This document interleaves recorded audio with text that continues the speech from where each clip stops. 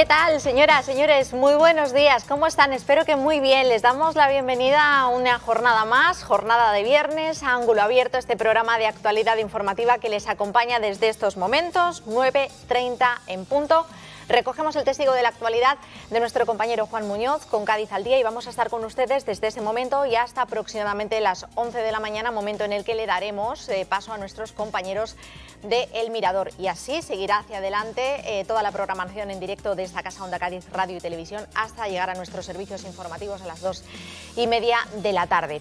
Hoy es 4 eh, de febrero, una fecha marcada en rojo en el calendario porque hoy se conmemora, se celebra el Día Mundial contra el Cáncer. Unas 7.000 personas fueron diagnosticadas eh, de cáncer en Cádiz durante el pasado año 2021, según las estimaciones de la Sociedad Andaluza de Oncología Médica, que señala que esta cifra continuará desgraciadamente incrementándose en el futuro.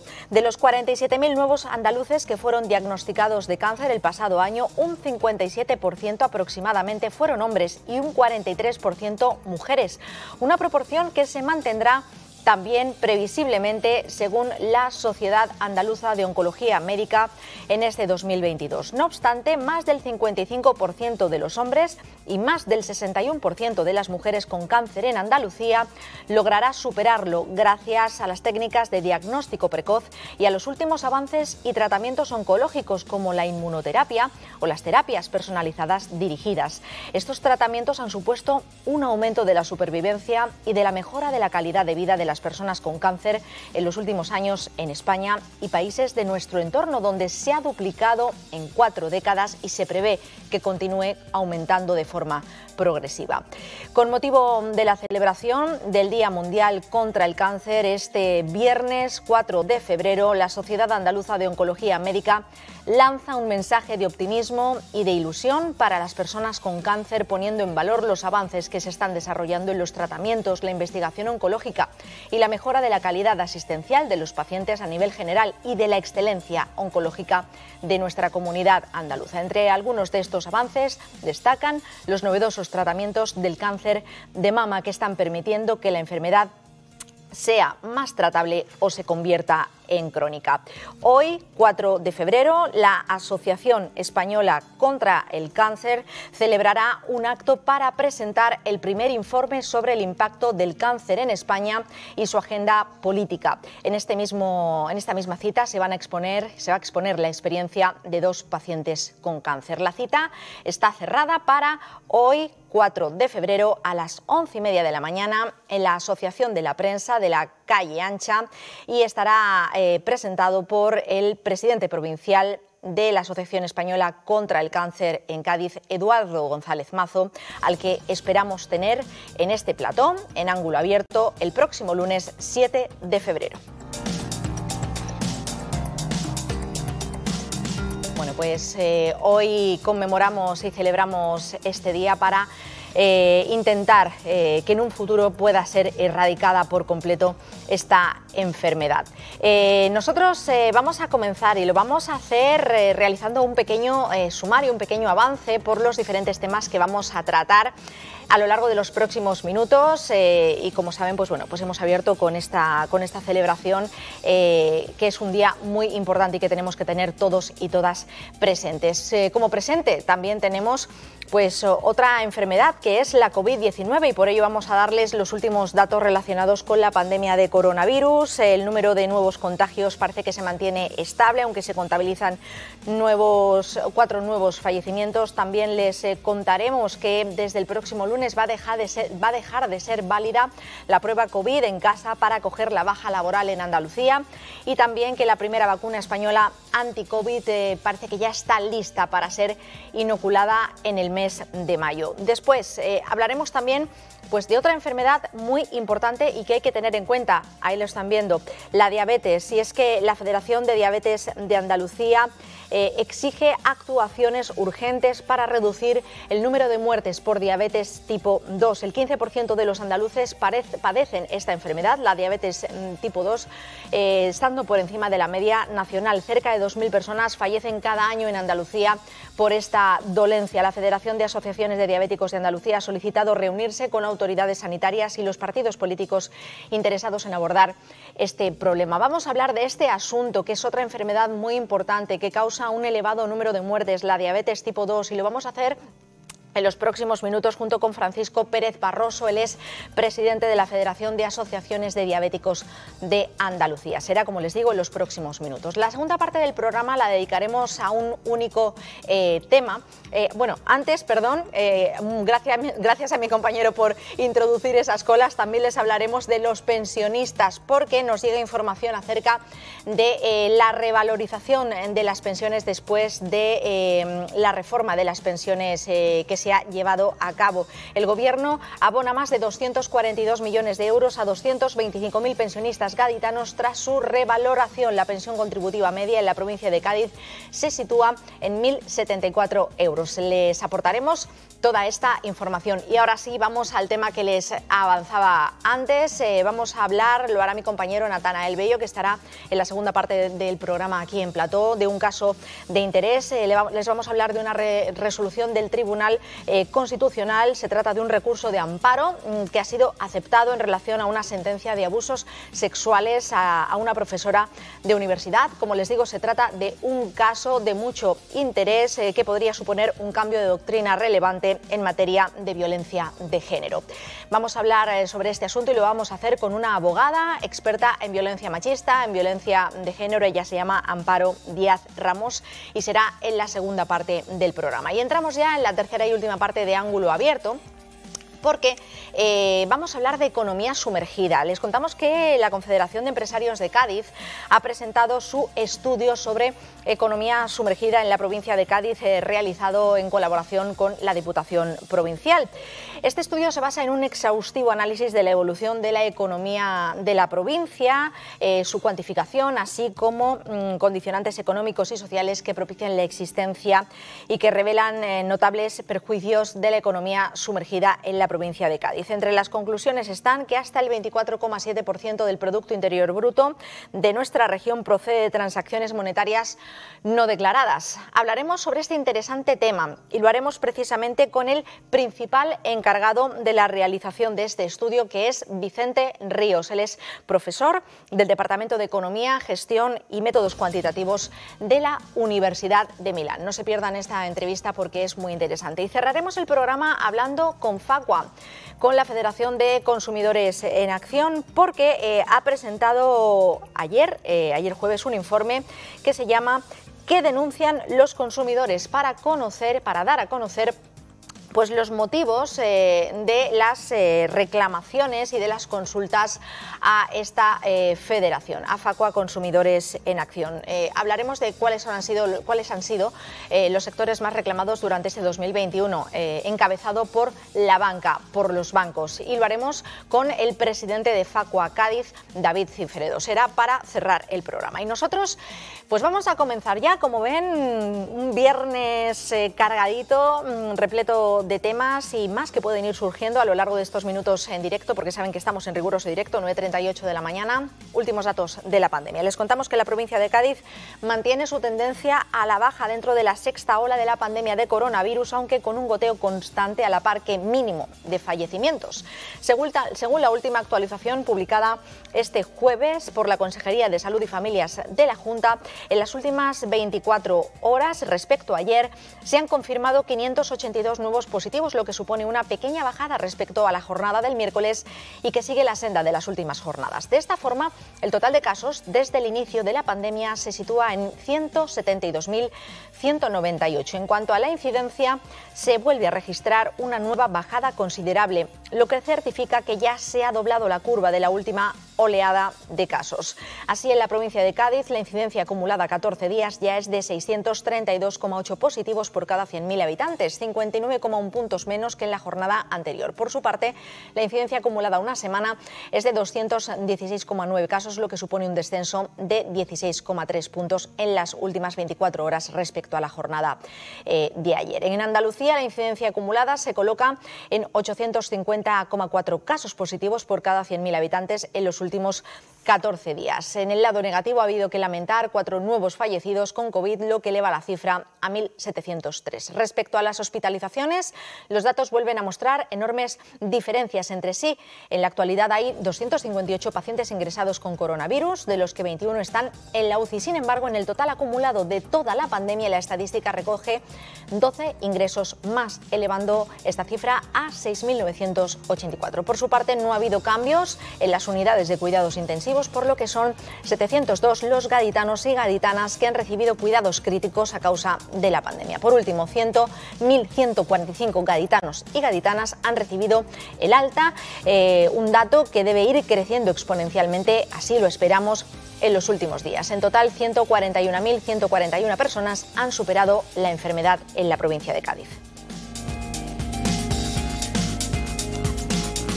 Son datos que, como saben, tienen que ser actualizados respecto a las últimas 24 horas, una actualización que nos llega por parte de la Consejería de Salud y Familias durante la mañana, así que estén muy pendientes de nuestros servicios informativos en directo a las dos y media de la tarde, donde ahí sí podremos darle todos los datos 100% actualizados. Y seguimos dándoles información eh, sobre la pandemia, porque tienen que saber que el próximo lunes eh, deja de ser válida la prueba de COVID en casa para poder coger la baja laboral en Andalucía, los test eh, eh, de antígenos. La Consejería de Salud y Familias eh, volverá a hacer pruebas diagnósticas para dar la baja laboral por COVID. Así lo ha indicado el consejero Jesús Aguirre, quien ha señalado que esto es posible gracias a la bajada de la presión asistencial por la caída de la sexta ola de la pandemia. Hasta ahora cabe recordar, cualquier ciudadano podía hacerse la prueba en casa tras adquirirla en una farmacia y comunicar a través de la aplicación del Servicio Andaluz de Salud del positivo y en la misma gestión pedir tanto la baja laboral como el alta a los siete días. Pues bien,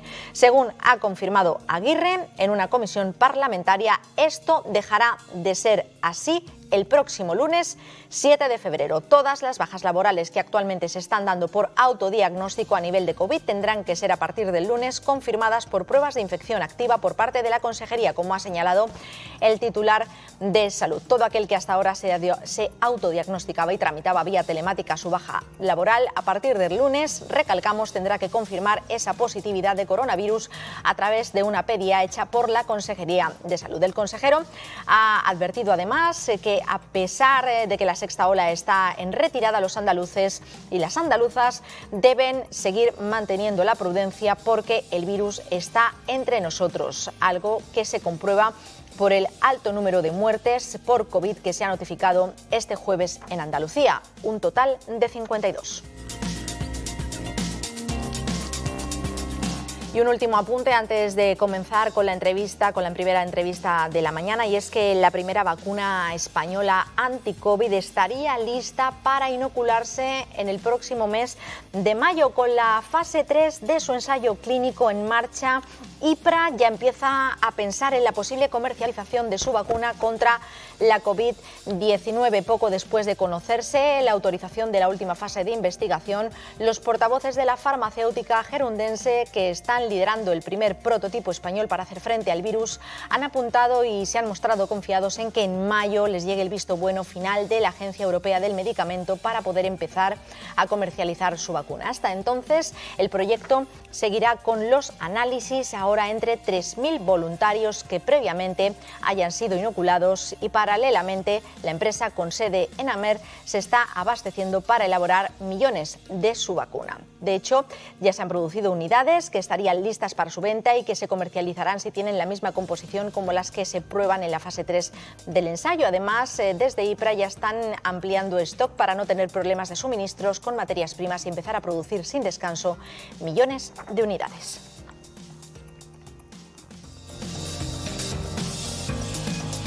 Bueno, pues desde luego que es una buenísima noticia que esté a la vista la posible y puesta en comercialización de una nueva vacuna para luchar contra este virus, contra la COVID-19 de la española IPRA. En principio, y todo apunta, como dicen estas fuentes, a principios del mes de mayo. Nosotros hemos comenzado el programa hablando del día que, que se conmemora hoy, el Día Mundial contra el Cáncer, de esta enfermedad tan importante de la que tenemos que hacernos eco y de la que también eh, tenemos que hacer eh, difusión, por supuesto. Hemos hablado de esta enfermedad que nos tiene pues, muy pendientes desde el pasado 14 de marzo de 2020, como es la COVID-19, pero también existen otras enfermedades a las que hay que prestarles atención. Es el caso de la diabetes tipo 2. La Federación de Asociaciones de Diabéticos de Andalucía ha iniciado una campaña para advertir de la necesidad de actuar de manera urgente para reducir las muertes por diabetes tipo 2 en Andalucía una de las comunidades con más prevalencia de esta enfermedad.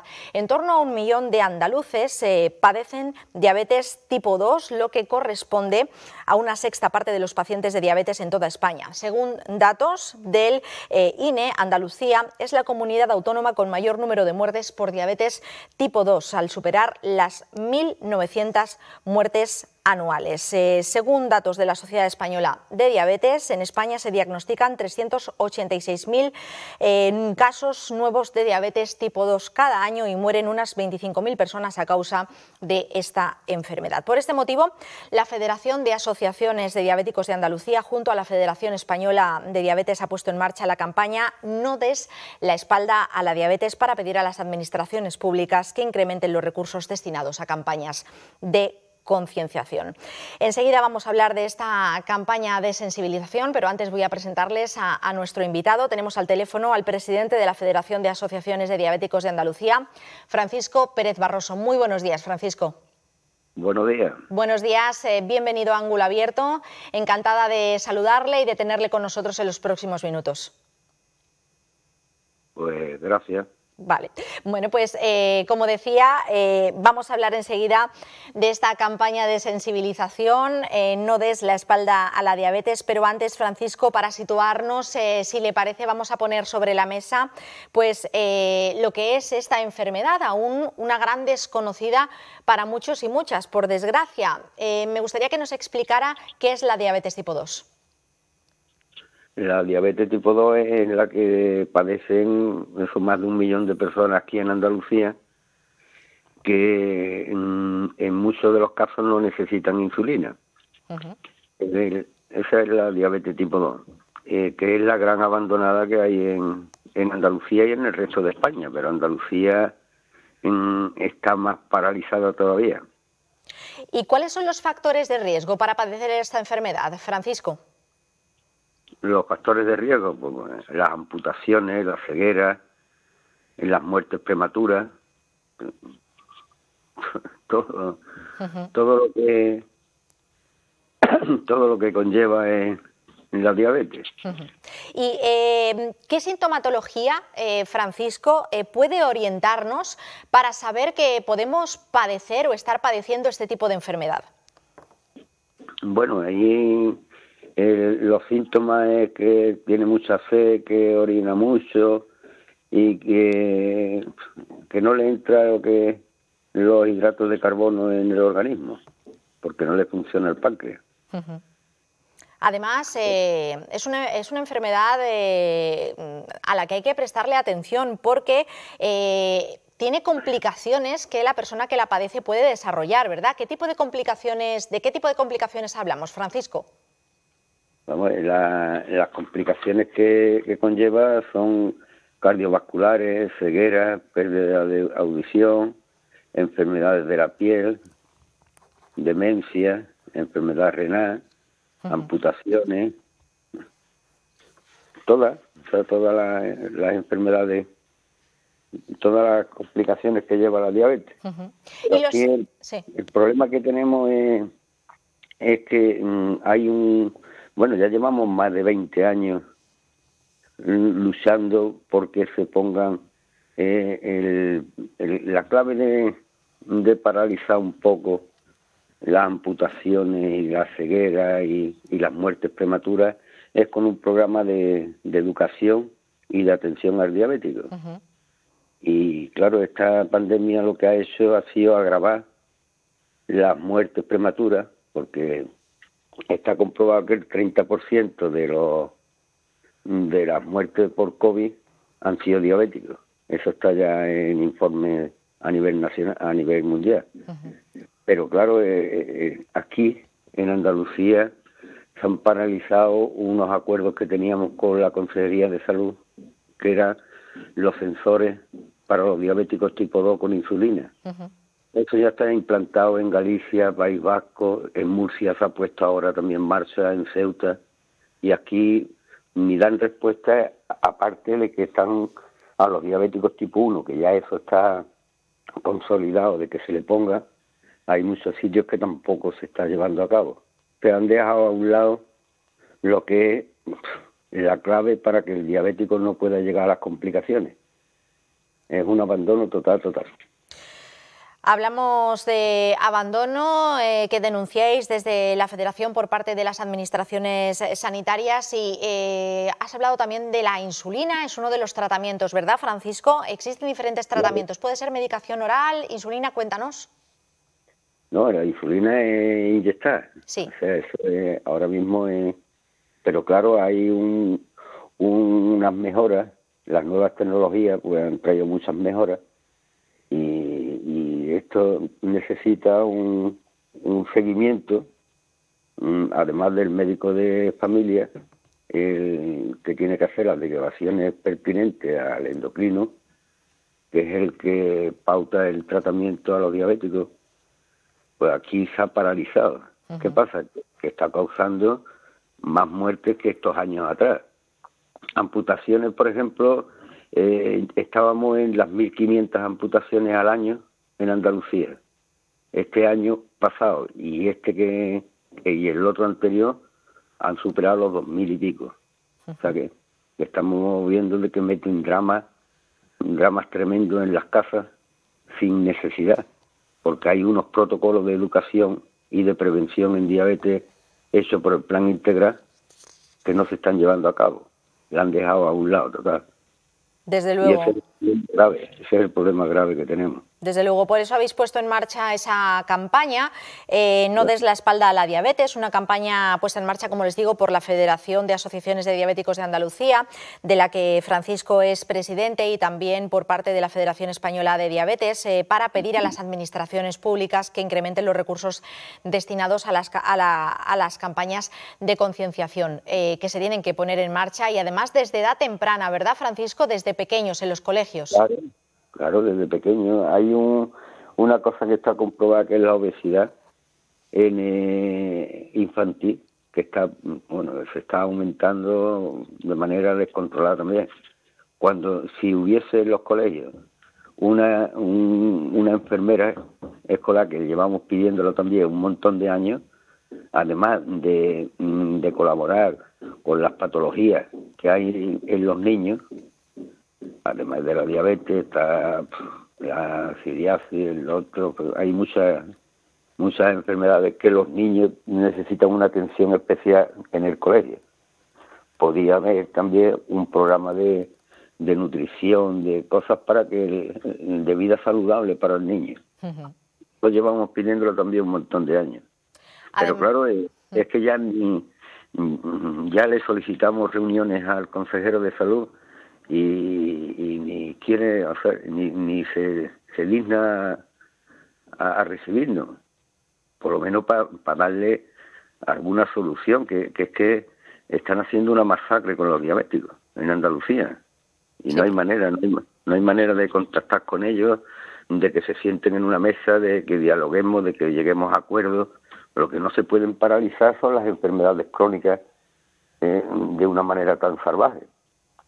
Efectivamente, porque aunque todo el mundo está pendiente de la COVID-19, la vida sigue y las enfermedades crónicas están ahí. Es el caso de la diabetes tipo 2, que como nos cuentas, Francisco, pues su incidencia es eh, tremenda eh, y sobre todo pues sigue incrementándose en nuestra comunidad autónoma. El 15% de los andaluces padecen eh, diabetes tipo 2, está muy por encima de la media nacional, casi 2.000 personas mueren en nuestra comunidad autónoma por esta enfermedad y lo que es peor, Francisco, un tercio de estas personas pues es que ni siquiera saben que tienen esta enfermedad. Eh, de ahí la importancia de realizar campañas de difusión, de concienciación, ¿verdad?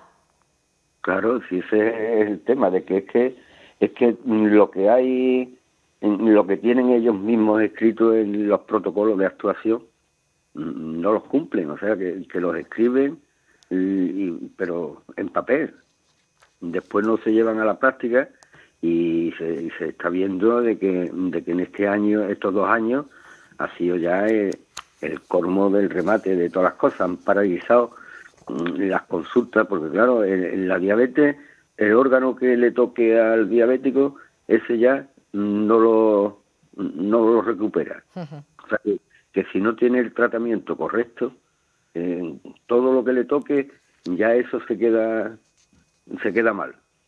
Entonces es un, problema grave, grave. Estamos ya estamos diciendo de, que se están muriendo gente y se están amputando miembros que se podían evitar en más de un 80%. Si ellos cumplieran los protocolos, que no, no todo es COVID. Claro. Que, hay, que, que nos están matando a nuestras familias.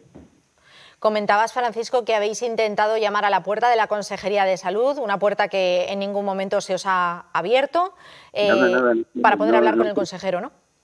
Sí, para hablar con el consejero, porque es que es urgente de que se pongan en marcha los protocolos, de que, de que, eh, que, nos están matando a nuestras familias, que es que no se, no se dan cuenta, parece que no va con ellos. Es, que da susto de, de ver los centros de salud y, de ver los hospitales que tienen unidades de diabetes y que no, no están funcionando. No hay manera de, acceder a ellas, porque los médicos no derivan, después que no, que no, que, no, que es imposible. Bueno, pues esperamos eh, que entrevistas de este tipo, los medios de comunicación entre los que nos encontramos, pues sirvamos de, hilo conductor y, de medio de difusión, ¿no? Para, para concienciar eh, y para que la gente pues eh, sepa que es importante acudir a su médico de cabecera si detecta algún tipo de señal que pueda estar relacionada con la diabetes tipo 2. Francisco Pérez Barroso, muchísimas gracias por estar con nosotros estos minutos en el programa. Nada, gracias a ustedes. Un abrazo. Hasta luego. Hasta luego.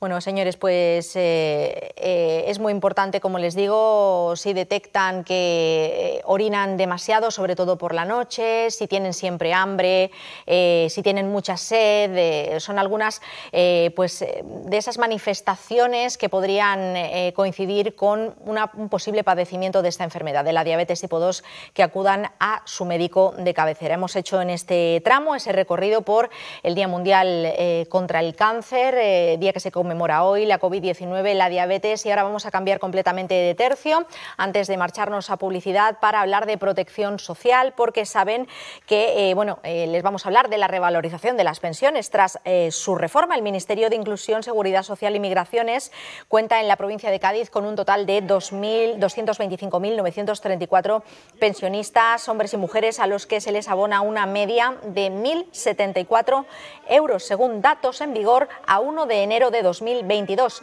El importe abonado por el Gobierno de España a los pensionistas gaditanos en el mes de enero asciende a más de 242 millones de euros. La cuantía de la pensión media gaditana supera en 106 euros a la media andaluza, con 968,83 euros. Esta nómina del mes de enero incluye la revalorización del 2,5% de las pensiones contributivas, medida aprobada por el Consejo de Ministros el pasado 25 de enero, en el que también se aprobó la paga compensatoria por haber superado la inflación entre enero y noviembre de 2021, la proyección con la que se revalorizaron las pensiones para ese año, para el 2021. Esta proyección esta se proyectó en un 0,9% y la inflación fue del 2,5%. De las 225.934 pensiones contributivas abonadas, 119.197 son de jubilación 56.537 de viudedad, 37.100 de incapacidad permanente,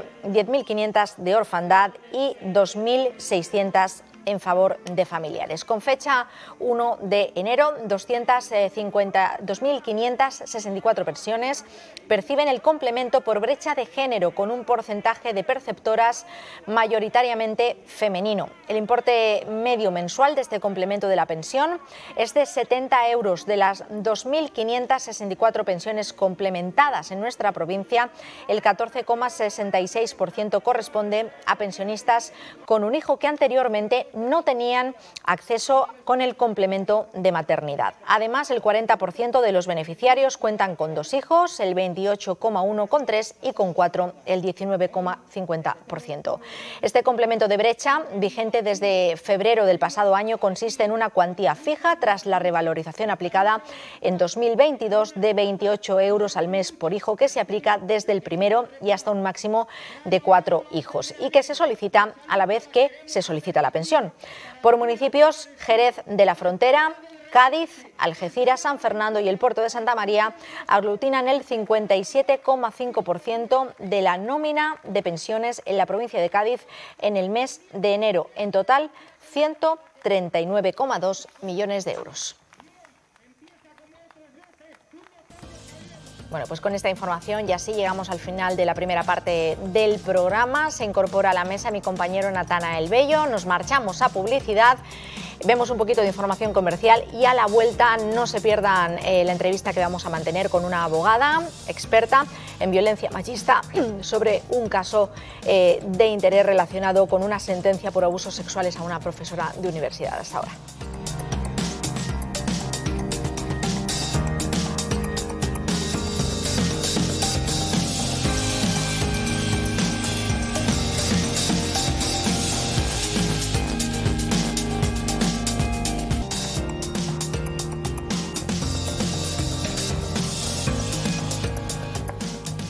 Seguimos en directo en Ángulo Abierto. Hola de nuevo, bienvenidos, bienvenidas y se incorporan en esta parte del programa. Han visto ese plano general y si estaban en la parte anterior del programa, pues lo vieron entrar. Buenos días, Natanael Bello. Muy buenos días. ¿Cómo estás? Vamos bien, vamos bien. Bien, hoy por fin es viernes, un viernes nubladito, pero te he oído antes comentar que para el fin de semana se espera Bueno, está ahí con los cambios de viento y lo que pasa es que no va a ser como a lo mejor los anteriores, en principio, claro, porque los anteriores llevamos ya bastantes días con levante más de 10 días con Levante, la verdad que puede venir, lo decimos siempre, puede muy, venir muy bien para poner a la lavadora, pero la cabeza llega un momento en el que también se satura con el viento y estamos ahí cambiante. Entonces, hemos estado esta semana con unos vientos cambiantes, vuelve el, el noreste, pero en principio no tan fuerte. Bueno, eh, lo que tienen que venir son nubes y lluvia porque el año hidrológico que comenzó en octubre va fatal. Eso en principio, si no llueve hoy, va a ser más complicado. Lo sé, lo sé. bueno, vamos con lo que nos toca en esta segunda parte del programa Nata, un tema eh, muy interesante y yo lo anunciaba al principio del programa como un caso de interés. Eh, se trata de una resolución del Tribunal Constitucional, ¿verdad? ¿Nos puedes poner un poquito en situación? Bueno, sí, la, eh, la admisión del recurso de amparo, pues justamente de un recurso presentado ante la sentencia de un caso por denuncia de abuso en el trabajo. Esto ocurrió en la Universidad de, Sevilla, en la que, bueno, pues concretamente varias profesoras denunciaron el, acuso. Este, este recurso concretamente es por um, la primera sentencia, denunciaron el abuso de el exdecano de la Facultad de la Universidad de Educación en Sevilla, eh, Santiago Romero, está publicado todo, evidentemente, Lo, leemos lo que se ha publicado, y eh, bueno, eh, catedrático ¿no? también de la universidad, y esos abusos que denunciaban. Hay varios aspectos, estamos hablando, vamos a conocer el caso, vamos a intentar también explicar esta resolución, esta admisión a trámite de este recurso de amparo y esa perspectiva de género que se quiere, eh, que se, bueno, se, plasma en esa resolución, en este recurso, en, esa, en esta admisión del recurso. También eh, vamos a hablar de las penas que se dieron de cuestiones como la dilación, eh, que, es un atenuante, es decir, y por qué se le da responsabilidad a, las víctimas. Hay distintos aspectos, los cambios de doctrina, eh, muchas cuestiones que, como pueden imaginar, pues todas las personas que están ahora mismo viéndonos y nuestra audiencia, nosotros no somos expertas ni expertos en ello y por eso vamos a hablar, con un experto. Exactamente. Comentaba, eh, lo ha explicado muy bien eh, mi compañero y, como les decía, es un caso de interés eh, porque podría suponer un cambio de doctrina relevante en materia de violencia de género. Vamos allá con, con, quien tiene que hablar del tema, con nuestra experta. Le damos los buenos días, abogada Amparo Díaz. Muy buenas. Hola, ¿qué tal? Buenos días. Bueno, pues estamos ante un caso, yo primero para la audiencia, si, no recuerdan, si no conocen eh, este caso, me gustaría que lo presentara en un principio y eh, cómo se ha ido desarrollando y, lo importante del caso en concreto. Bueno, pues se trata de un caso en el que tres mujeres, dos profesoras y una becaria de la Universidad de Sevilla, denuncian una serie de conductas de acoso eh, que terminan en tocamientos durante varios años por parte del catedrático y el decano de su facultad. ¿no? Ellas denuncian además cómo se sienten muy impotentes, cómo lo van comentando varias personas que tienen responsabilidades en la universidad y lo que hay es una gran pasividad, incluso un entorno cercano complaciente con esta, con esta persona y ellas todo eso les va afectando no solamente en su vida, mm, en su vida profesional, sino en su vida personal. El juzgado de lo penal pues condenó de una manera muy contundente a casi ocho años de prisión, considerando que los hechos eran eh, un abuso sexual continuado respecto de cada una de ellas, que incorporaba dentro las conductas de acoso, y respecto de una de ellas, la, la que defendía yo, eh, además un delito de lesiones psicológicas y por eso la pena pues llegó a ser de casi ocho años. La audiencia provincial lo que hace es que, sin cambiar el relato de los hechos, que es muy contundente y bastante grave, eh, modifica la pena hasta tal punto que llega a ser una pena pues mm, un poco anecdótica y finalmente el juzgado de lo penal en ejecución establece, suspende y basta con que pague 2.700 euros, fijaos la diferencia de casi ocho años de prisión a pagar 2.700 euros para que este señor no vaya a prisión.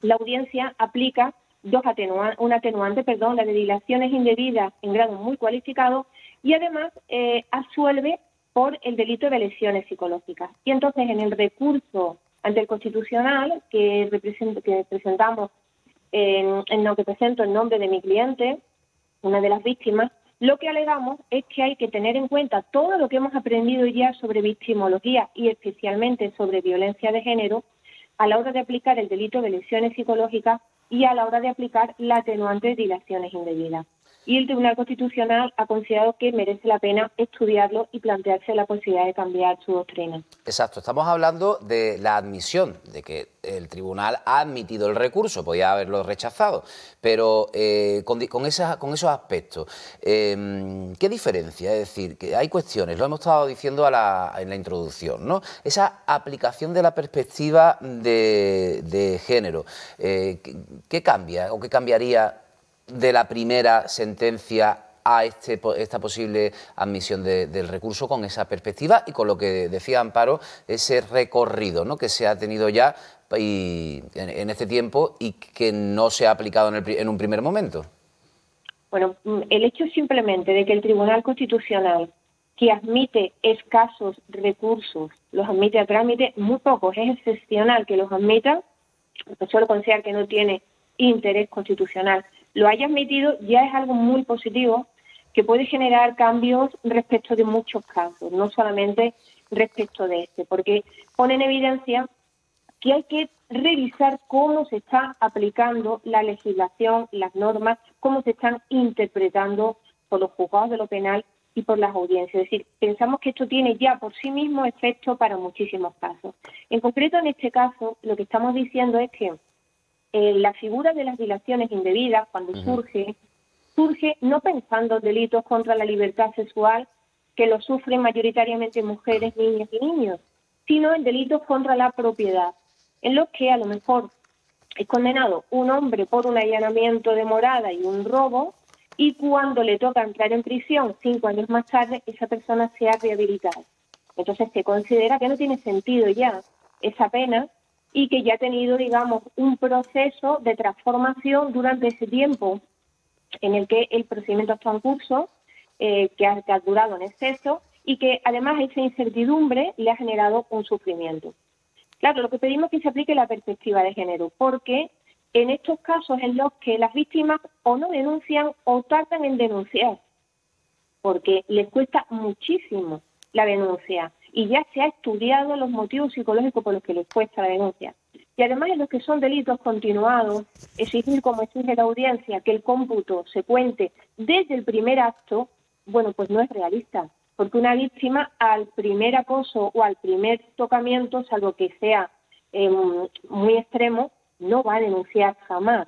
Por tanto, entendemos que en eso consiste aplicar la perspectiva de género, en conocer cómo funcionan las dinámicas en este tipo de delitos, en los que las víctimas son mayoritariamente mujeres y el agresor es mayoritariamente un hombre que además tiene poder, que tiene un entorno de poder que dificulta muchísimo la, la propia denuncia. ¿no? Hablaremos también de, esa ostentación para, de poder para someterla, pero quería todavía eh, profundizar en, ese aspecto, en el de los abusos continuados, porque estamos hablando de una situación denunciada, como decimos ya, con sentencia, es decir, que ya se ha condenado, en la que las víctimas planteaban y denunciaban que algunas, desde el primer día, incluso con tocamientos en el pecho, en el despacho, es, decir, que... Eh, es complicado, ¿no? Y, lo relaciono ya con lo de la ostentación de poder. Llegas a un trabajo, empiezas en un nuevo trabajo y existe ese poder. ¿En qué consiste y cómo se desarrolla y cómo va, mm, y, relacionándolo un poco, no sé, ya me, dirás tú, Amparo, con las dilaciones, ¿no? Con las dilaciones indebidas. Claro. la propia sentencia declara como hecho probado que este señor tenía un poder, de hecho, enorme lo que se hacía y deshacía en la facultad y específicamente en el departamento dependía de él. Dependía de él que hubiera publicaciones, asistir a congresos, leer las tesis doctorales. O sea, tenía un poder enorme y no solamente lo declararon así las tres víctimas, lo declararon otras personas. Incluso una testigo que declaró como ella se tuvo que cambiar de facultad porque existía un ejercicio de poder basado en castigos si no se hacía lo que él quería y premios si se hacía lo que él quería, es decir, una dinámica perversa. Dentro de esta dinámica perversa, exigir a las víctimas que inmediatamente presenten una denuncia es exigirle que sean héroes de cómic, no es la realidad. Lo que nos dice la victimología, lo que nos dice la psicología, lo que nos dicen los estudios sobre, eh, sobre género, sobre las dinámicas que hay de este tipo, es que la víctima tarda en denunciar. Y por otro lado, durante el procedimiento judicial, las víctimas sufrieron un daño impresionante. Se tuvieron que soportar, tuvieron un grupo de apoyo de este, este delincuente, ¿no? de esta persona, eh, que estuvieran diciendo que ellas habían tenido un complot, que estaban mintiendo, eh, tuvieron que soportar, bueno, ser apartadas, ser anuladas, desprecios, mientras que él recibía apoyo, ¿no? Por tanto, no hizo en ningún momento una reflexión, no hizo ninguna petición de perdón, no hizo ningún reconocimiento de lo que había sucedido, ni se sometió a, ningún, a ninguna terapia ni a ningún proceso educativo que garantice que vaya a tener conductas respetuosas en el futuro con otras mujeres. Por tanto, entendemos que aplicarle en, en un caso así la atenuante de dilaciones indebidas es darle un regalo inmerecido y que hiere a las víctimas. La sentencia de la audiencia provincial sin intención, sin duda, pero fue hiriente, específicamente para mi cliente, fue muy dolorosa, no solo por la reducción de cárcel, sino por cómo hizo esa reducción de cárcel. Después también eh, la relación, yo, eh, Amparo, eh, ¿existe de alguna manera o va incluido todo en el mismo conjunto atenuantes, perdón, atenuantes, agravantes por la cuestión de no solo del abuso en sí, sino también por, por, la, bueno, por la dificultad que supone ir todos los días al trabajo, esa ostentación de poder, pero sobre todo una, como un acoso laboral. Lo que pasa es que, claro, con abuso sexual. No sé si eso, cada, cada, cada cuestión va sumando. Sí, en efecto. De hecho, por nuestra parte alegábamos que había también un acoso laboral, porque eh, que había un acoso sexual, un acoso laboral y un abuso sexual. ¿Por qué? Pues porque se inicia un acoso sexual que, que, culmina en varias ocasiones con tocamientos sexuales y cuando las víctimas hacen todo lo posible por no coincidir en el mismo espacio con él, eh, empieza empiezan a recibir presiones considerando que, eh, o sea, presiones intentando forzar esos encuentros. Y son presiones de carácter laboral.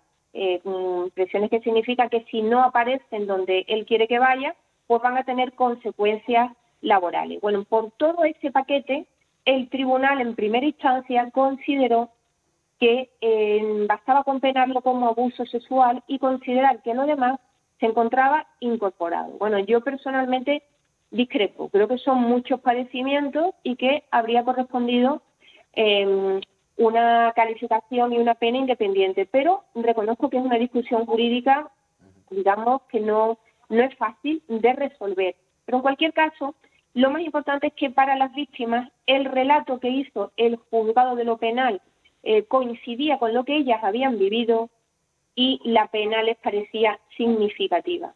El problema es que la audiencia, sin cambiar el relato de los hechos, incorporó una parte que es muy dañina para ellas, específicamente para mi cliente, que es el, mm, el decir que no denunciaron desde el primer momento. Y empezar a contar desde ese primer momento, desde el primer acto de la primera de ellas, ni siquiera hace un cómputo individualizado, empezar a contar desde ahí para ver si el procedimiento ha durado demasiado o no ha durado demasiado. Y no tener en cuenta además la conducta procesal y la conducta que había tenido esta persona durante todo el procedimiento, que no había sido de petición de, de perdón. Por eso el problema no fue la sentencia de primera instancia, aunque no condenó por los acosos, sino la sentencia de la audiencia. De la audiencia.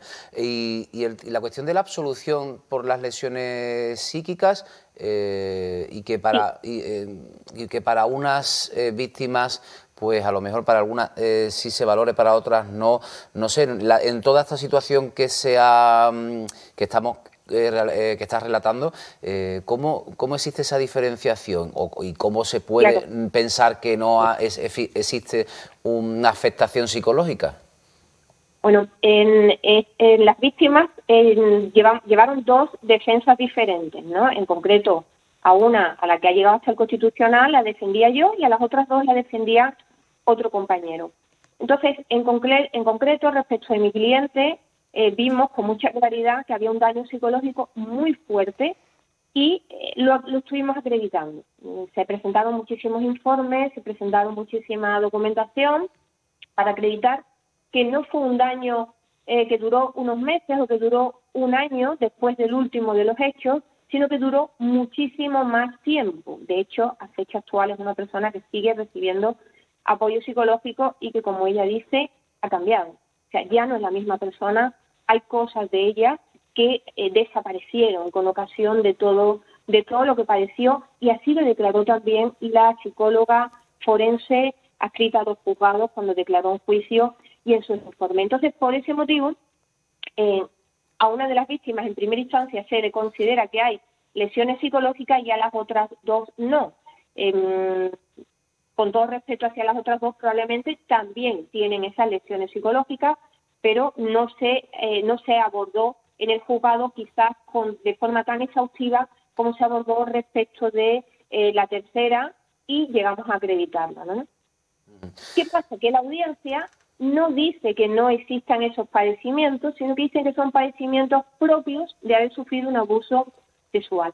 Eso significa que eh, una persona se pasa años con problemas psicológicos y se considera que es fruto de lo que del otro delito. Entonces se está vaciando de contenido por completo el delito específico de lesiones psicológicas para que está entonces en el Código Penal.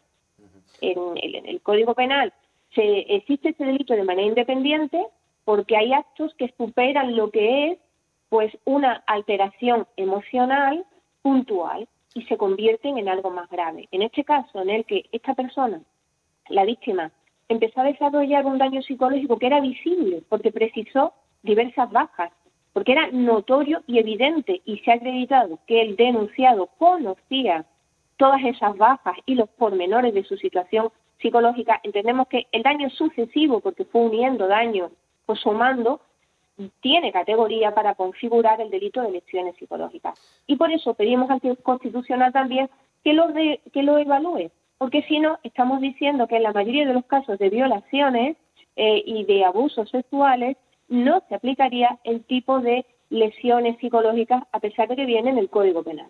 Amparo, decías antes que, bueno, que el agresor tenía cierto respaldo en, el entorno, eh, evidentemente con la, autoridad, siendo en ese momento eh, decano de, la facultad, siendo catedrático, me imagino que el entorno y cómo se comporta también es fundamental o ha sido básico en el desarrollo de este proceso. Bueno, el, el entorno ha sido fundamental desde mucho antes del desarrollo del proceso, porque un acoso no se sostiene en el tiempo si no hay un grupo de apoyo, si no hay un grupo complaciente. Si el grupo rápidamente reacciona afeando la conducta y en protección de las víctimas, el acoso no permanece. El motivo por el que permaneció era porque el entorno era complaciente, hasta tal punto que cuando las víctimas piden ayuda en el entorno, en principio no reciben ningún tipo de ayuda. Y luego en el procedimiento judicial hay recogidas de firmas a favor del condenado y, van a declarar personas, pues bueno, de una manera que la sentencia recoge un poco eh, la, escasa credibilidad que tienen ese tipo de declaraciones. Pero es que después eh, las víctimas, cuando termina el procedimiento, se encuentran con un contexto, el de la universidad, que tampoco ha hecho una gestión o unas dinámicas, mm, un abordaje de sanación del grupo, de qué es lo que pasó con ese grupo que no actuó. No se ha hecho nada de eso. La sentencia refiere que, bueno, que, que merecería la pena analizar el contexto, ¿no? ¿Qué es lo que pasó ahí con el grupo? Ese abordaje del grupo no se ha hecho y es una pena porque en todas las universidades hay problemas de este tipo y sería muy bueno que las universidades dieran un paso adelante de manera contundente hacia la sanación de las dinámicas que se desarrollan. Mm, paradójico, Amparo, que se haya producido en la Facultad de Educación, en la Universidad de Sevilla, pero en la Facultad de Educación. Bueno, pues sí. Y muy triste escuchar a una alumna en el juicio contando también situaciones del alumnado. Es muy triste. Y desde luego, como, como ciudadanía, yo creo que tenemos que exigir y esperar de las universidades que las chicas que entren allí estén seguras en todas las universidades, ¿no? Y por tanto que se evalúen los riesgos y que se, bueno, mm, se sanen este tipo de este tipo de dinámicas. Pues para terminar, eh, el recorrido, el recorrido está ya este recurso de amparo admitido en el Tribunal Constitucional que esperar, los plazos evidentemente, pero hay esperanza de, que no sea solo la admisión eh, a trámite, sino que también bueno, pues que haya una resolución favorable para vuestros intereses. Sí, hay esperanza, pero también somos conscientes de que el porcentaje de casos en los que se, eh, se estima un recurso de amparo es absolutamente anecdótico. Entonces, mm, estamos preparadas para que nos diga, lo hemos estudiado, pero aún así creemos que mm, por algunas circunstancias mm, procede dejarlo como estaba. Eh, estamos preparados para eso, aunque existe esa esperanza. En cualquier caso, que el Tribunal Constitucional se ponga a estudiar esto es un mensaje muy contundente hacia los operadores del derecho. No podemos seguir aplicando el derecho con inercias machistas. Es muy importante que incorporemos la victimología y especialmente la victimología relacionada con los delitos contra la mujer y contra menores, porque hay unas características específicas que no podemos dejar de lado. Pues Amparo Ruiz, muchas gracias por estar con, con nosotros aquí en Ángulo Abierto y explicar los pormenores del caso y también bueno todo lo que lo que conlleva esta aceptación, esta admisión por parte del Tribunal Constitucional del recurso de amparo que habéis presentado por este caso, lo conoces muy bien, has llevado a una de, de las víctimas, la estás llevando, así que te agradecemos que hayas entrado en ángulo abierto esta mañana. Nada, a vosotros, a vosotras, es un placer. Pues nada, compañera, lo dicho, hablan y tratamos mucho eh, por desgracia, a diario, casi a diario estos temas y, insisto, siempre profesionales, expertas, eh, insisten en lo fundamental de la educación. Paradójico, para paradójico para todo y paradójico que sea en la Facultad de Educación. Desde luego en Sevilla, en este caso la Universidad de Sevilla, pero bueno, da igual, decía que puede ocurrir a muchos niveles, muchas instituciones y demás, pero que, sea la fuente de, esa educación. Desde luego, totalmente eh, paradójico. Eh, Nata, muchísimas gracias, ha sido un tema muy interesante y agradecemos muchísimo a Amparo, Amparo Díaz que nos haya atendido. De acuerdo, bueno, nosotros nos vemos después, ahora en un ratito, pero aquí en Ángulo Abierto hasta el lunes por mi parte. Él ya, se, él ya se despide porque a mí me queda. se acabó el programa para mí. para ti, sí. Queda, queda todavía media horita nuestra Sí, que me queda a mí por delante. Nata, muchas gracias. Venga, hasta, luego. Mi compilla se marcha, se sube a la redacción a seguir eh, trabajando y yo me quedo, por supuesto, con ustedes, señoras y señores. No se van a librar de mí tan pronto que todavía nos queda media, media horita. Nos marchamos a publicidad, vemos unos cuantos anuncios y a la vuelta tenemos eh, para tratar dos temas muy interesantes. El primero de ellos, economía sumergida en la provincia de Cádiz y para cerrar hablaremos sobre eh, las consultas y las reclamaciones que los consumidores hemos realizado durante el año 2021. Eh, una de ellas, como sabrán, pues la sanidad, la relacionada con la sanidad. Hasta ahora.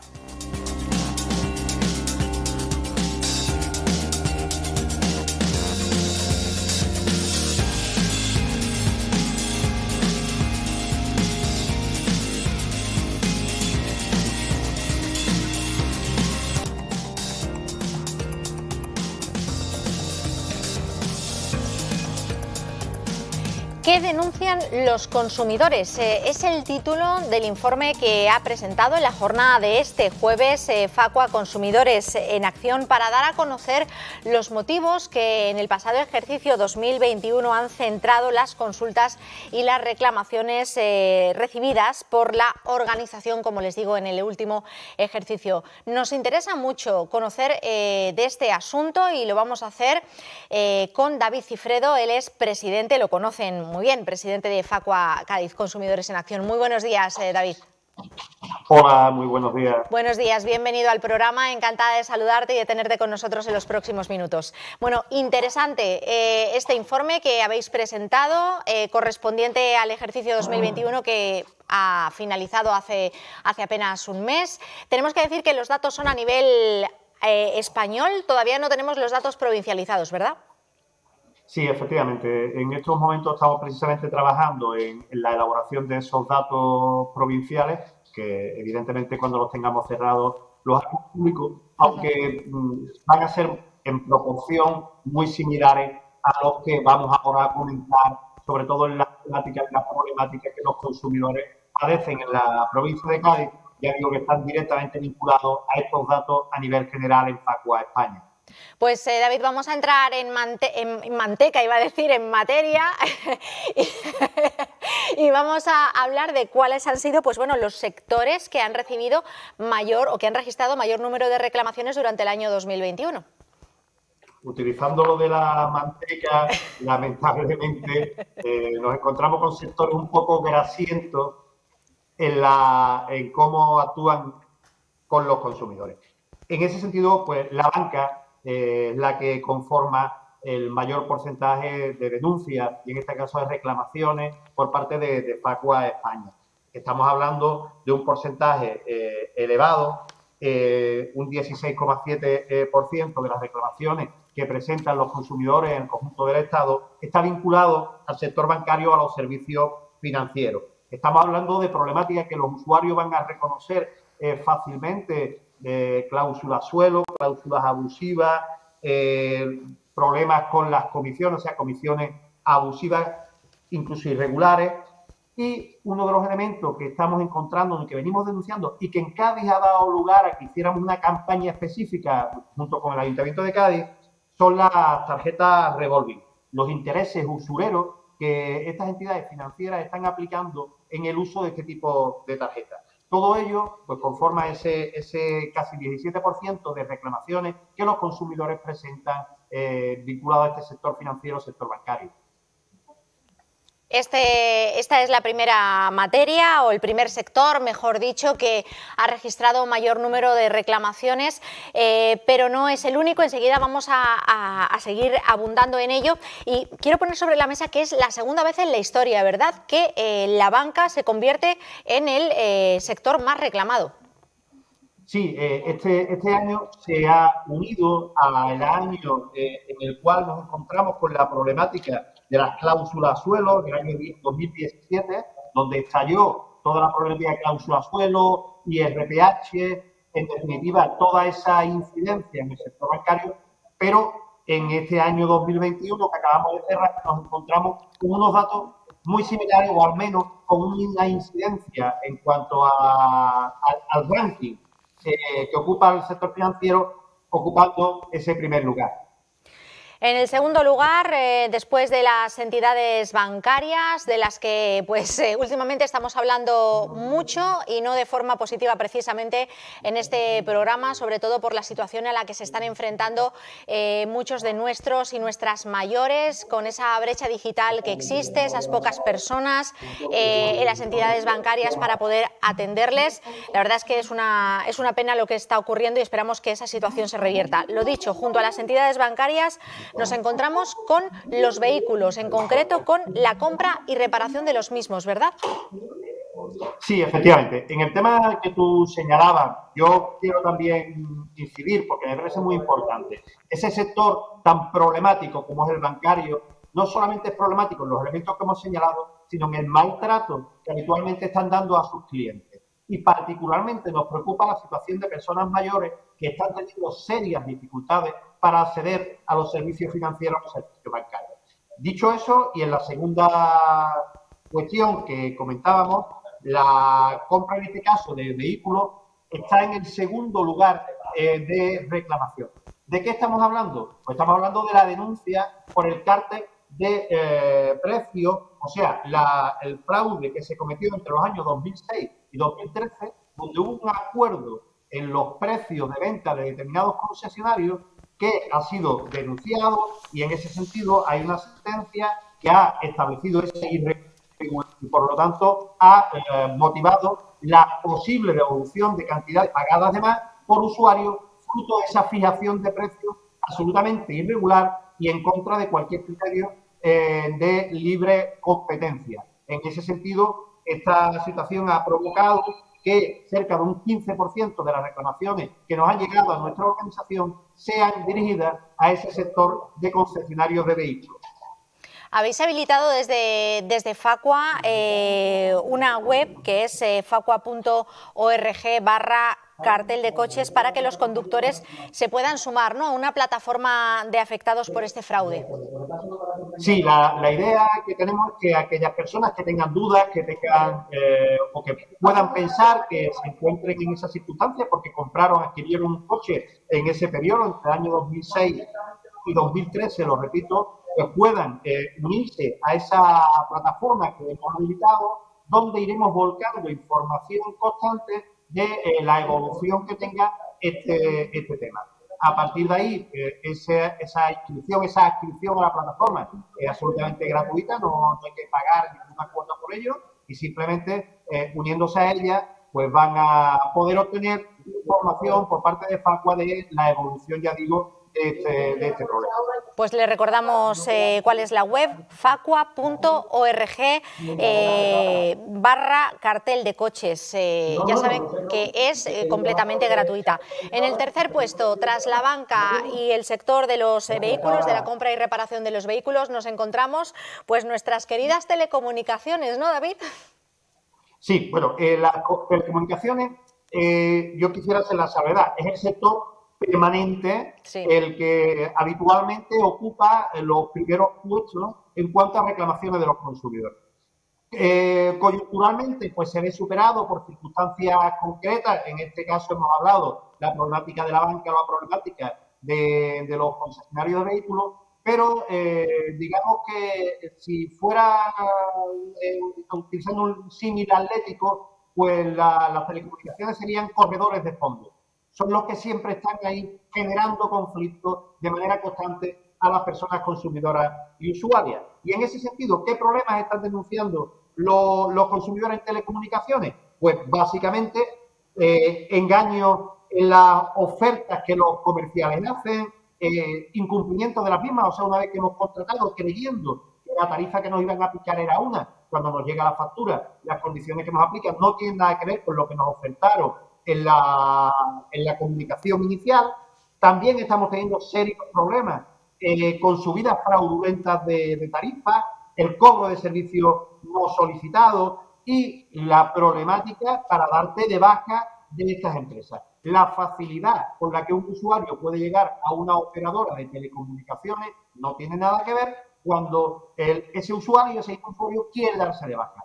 Todas las facilidades para darnos de alta telefónicamente, por ejemplo, con una simple comunicación verbal, eh, vale, porque de hecho tiene condición contractual, pues esa misma, esa misma vía, eh, la telefónica, no nos permiten usarla para eh, concluir la vaca. Son largas constantes con la intención de retenernos en esa operadora el máximo tiempo posible.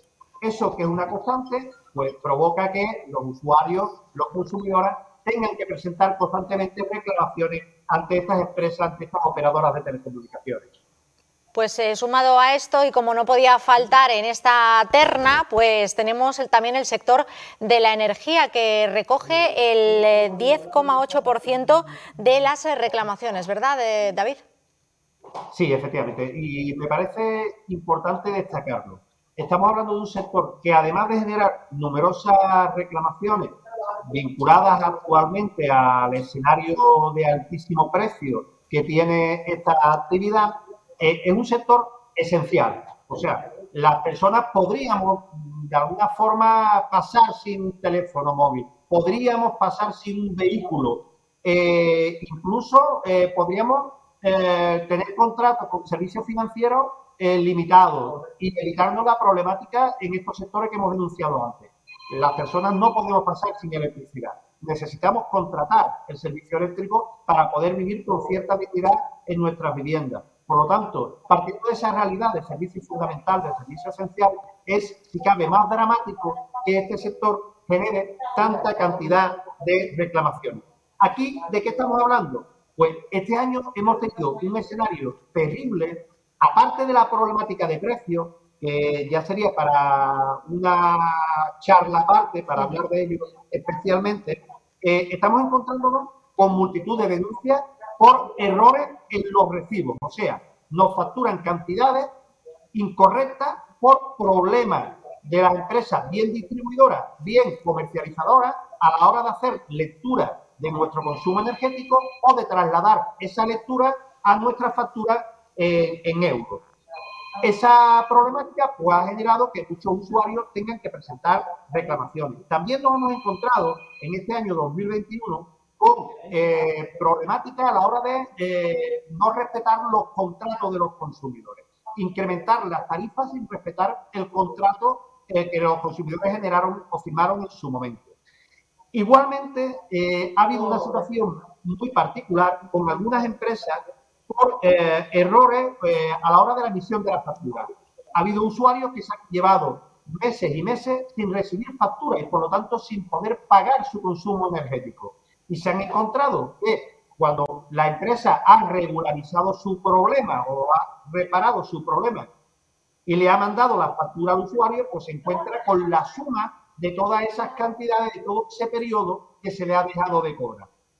Aquí hay que señalar el usuario que se encuentre con esas circunstancias debe saber que no está obligado a pagar toda esa cantidad de una sola vez, puesto que el problema ha venido derivado de una mala gestión por parte de la empresa comercializadora, que no le ha facilitado durante un periodo de tiempo esa factura. ¿Qué tiene que hacer el usuario? Presentar reclamación, solicitar el pago eh, fraccionado de esas cantidades pendientes, porque además la ley del sector eléctrico así lo establece. O sea, no es una voluntad eh, de la empresa, sino que es una obligación legal el que no se cobre de una sola vez esas cantidades. Por lo tanto, si la empresa pretende cobrarnos esas cantidades de esa manera y de una sola, en una sola factura, el usuario debe presentar reclamación por escrito para que le fraccionen esos pagos y lo pague de una manera más cómoda.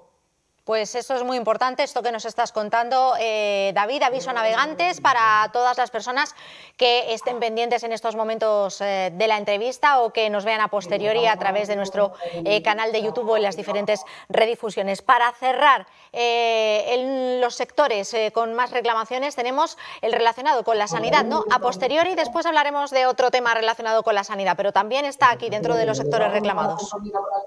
Sí, aquí nos encontramos con una particularidad y ha sido la alta incidencia en clínicas dentales. Y en lo concreto, el cierre de la clínica Denti, que tenía distintas dependencias, en Cádiz tenía una oficina, en Jerez tenía un par de ellas.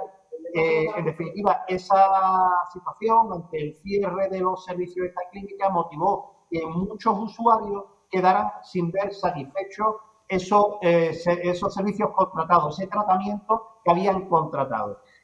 Además, en la mayoría de los casos, estos usuarios habían financiado estos tratamientos con alguna entidad eh, financiera, con lo cual se encontraban sin la prestación del servicio y con las entidades financieras reclamándole el cobro de la totalidad del servicio contratado.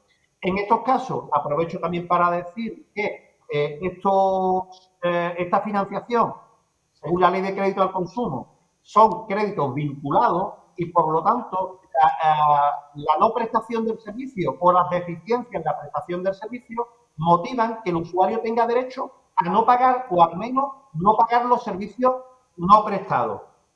Y en ese sentido, pues a la financiera habrá que presentarle reclamación demostrando que la clínica le dejó de prestar unos determinados servicios y por lo tanto de lo presupuestado inicialmente hay una cantidad que no se ejecutó y en ese sentido tendrá que devolverlo o dejarlo de cobrar la financiera. O sea, si lo llegó a cobrar, devolverlo, si no lo ha llegado a cobrar, cancelar esas cantidades concertadas por el usuario con esa entidad financiera. Pues estas, estos han sido los principales sectores reclamados. Estaremos muy pendientes de cuáles son los datos provincializados. Por supuesto, se los aportaremos en este programa en ángulo abierto. Y ya que estamos hablando de sanidad, David, si te parece, vamos a abundar en ello, porque eh, desde Facua consideráis eh, lamentable, así lo habéis calificado, que la Junta de Andalucía siga improvisando con la salud de los andaluces y las andaluzas. Y lo decís en referencia al reciente plan de choque eh, de atención primaria que se ha presentado, ¿verdad? Sí, vamos a ver, tenemos un serio problema, que además no es nuevo. Eh, teníamos ya una sanidad pública muy deteriorada, muy deteriorada por la falta de inversión. Esa falta de inversión seguimos comprobando que se mantiene. Eh, los nuevos gestores no han cambiado la situación, no han revertido esa situación. Es más, lo están agravando. Lo están agravando no solamente en la falta de inversión, sino que en paralelo la, la inversión que se está haciendo está siendo dirigida a centros privados. O sea, están creciendo de manera exponencial los conciertos que, se que ya se estaban haciendo en esta provincia, pero que con este gobierno se están incrementando. La política que el Partido Popular está aplicando y Ciudadanos está aplicando en la sanidad andaluza va vinculada a derivar determinados servicios que se prestaban por el servicio público a la sanidad privada. Eso es un deterioro de la sanidad, de esa sanidad pública, eh, universal y de calidad que, entre otras organizaciones, Pacua viene defendiendo. El actual plan de choque presentado por el gobierno tiene mucho que ver con eso que estamos hablando. Nos parece una tomadura de pelo y que no va en la línea que nosotros defendemos de potenciación del sistema sanitario público y particularmente de la atención primaria, que históricamente ha sido eh, pues la, parte menos eh, defendida, menos cuidada por los gestores sanitarios públicos. En este sentido, nosotros apostamos de verdad porque haya una inversión suficiente para garantizar el sistema sanitario público, universal y de calidad, y en particular por una mejora eh, suficiente de los servicios de atención primaria, donde los usuarios nos estamos encontrando sin posibilidad de pedir cita en días y días y días. O sea, pedimos una cita y no hay cita con nuestro médico de familia hasta dentro de 8 o 10 días. Es un absoluto disparate.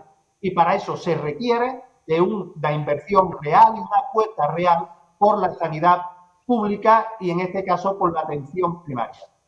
eh, críticas al plan de choque de la Junta de Andalucía desde Facua, a los que se suman, pues, eh, por ejemplo, la marea blanca gaditana, eh, con los que hablamos a principios de esta semana con Antonio Vergara. David Cifredo, mm, se nos ha acabado el tiempo. Muchísimas gracias por estar con nosotros y por presentarnos este informe que se ha presentado, valga la redundancia, ayer, o sea que está calentito, calentito. Gracias, como siempre, por tu amabilidad y por estar con nosotros en el programa. Muchas gracias a vosotros. Un abrazo muy fuerte. Buen fin de semana. Igualmente. Hasta luego. Bueno, pues despedimos al presidente de Facua, eh, Cádiz, eh, Consumidores en Acción, David Cifredo. Y señoras, señores, con esto hemos llegado al final del programa de este ángulo abierto.